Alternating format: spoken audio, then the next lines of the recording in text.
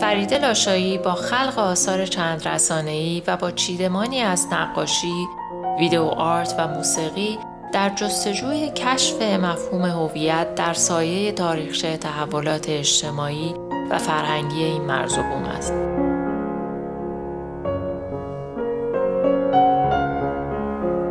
اثر خرگوش ها مقدمه بر آلیس در سرزمین عجایب کنتراستی است از رنگ های تیره و روشن که تصویری وهمناک از جنگلی خیالانگیز و منزوی ارائه داده اما این منظره تنها بخشی از رویای نقاش است و با وجود اینکه نمایانگر عواطف و خاطرات محو او از درختان سرزمین مادریش به شمار می آید با اضافه شدن ویدیو آرت و تصویر چند خرگوش کامل می شود.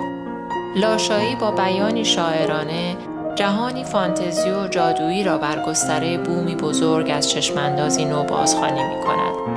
عنوان اثر نیز مستقیما به داستان مشهور آلیس در سرزمین عجایب ارجاع می دهد. زمانی که قهرمان داستان به دنبال یک خرگوش از یک دروازه خیالی عبور می کند و وارد بعد دیگری از زمان می شود. این داستان حاوی ارجاعات تاریخی و مفهومی بسیاری است و دقدقه های جهان و زندگی انسان معاصر را بیان می کند. به همین دلیل مجموع کارهای این دوره لاشایی نوعی روایت استعاری از فراز و فرودهای تاریخ معاصر ایران می تواند به شما آید.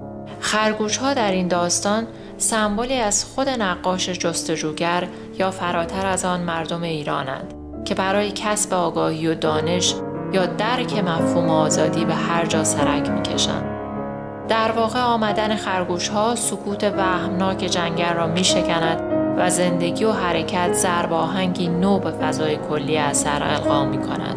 این فضاسازی که ریشه در علاقه فرید لاشایی به سینما و تجربه گرایی او با مدیوم های مختلف دارد آخرین دستاورد هنرمندی صاحب سبک و یگانه در تاریخ هنر معاصر ایران است.